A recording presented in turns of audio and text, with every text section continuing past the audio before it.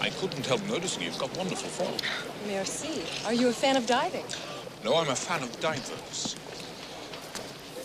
It's, uh, it's turned chilly. I'm get out of that wetsuit if I were you. You're not in this wetsuit.